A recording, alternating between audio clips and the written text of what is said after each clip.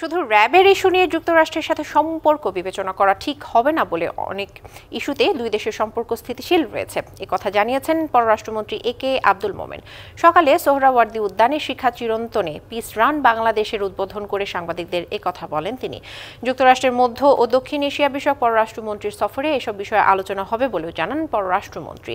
আলোচনার মাধ্যমে রোহিঙ্গা সমস্যার সমাধান সম্ভব বলেও মনে করেন তিনি। তবে আলোচনার মানসিকতা এবং পরিবেশ থাকতে হবে বলেও জানান মন্ত্রী। একে মোমেন জানান, বাংলাদেশ প্রতিবেশী দেশের সাথে সমস্যাগুলো শান্তিপূর্ণভাবে সম্পন্ন করেছে। বর্ণ, ধর্মের ঊর্ধ্বে থেকে নিজেদের মধ্যে পারস্পরিক সৌহার্দ্য বাড়াতে কাজ করছে সরকার।